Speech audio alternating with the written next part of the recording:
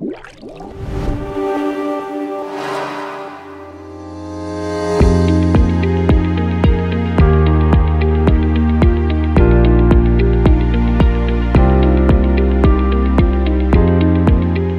media usually requires replacement every 5 to 7 years, depending on water quality and how much the system operates. This is how to replace the media. Start by releasing pressure from the system and draining it. Turn off the water, then open any valve in the downstream of the system to release the pressure. Verify that the pressure gauge is at zero before proceeding. Now open the filling port of each of the tanks.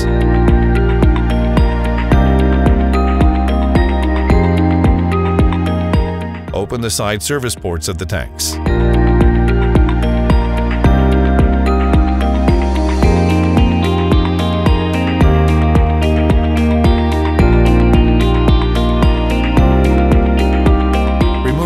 From the tank.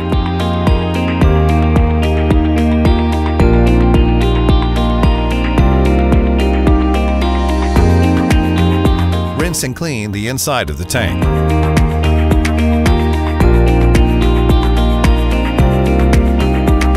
Using a flashlight, visually check the inside of all the tanks through the filling port for damaged, missing, or unsecured under-drain diffusers, flutes, or mushrooms.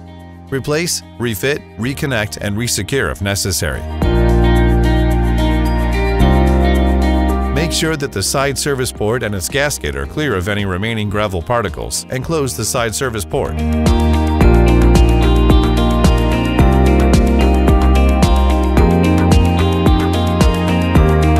Proceed to fill up the tank with media until the media level marker line.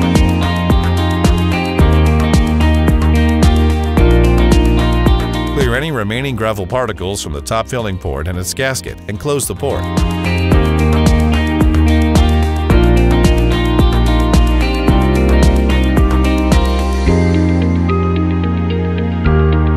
Turn on the water.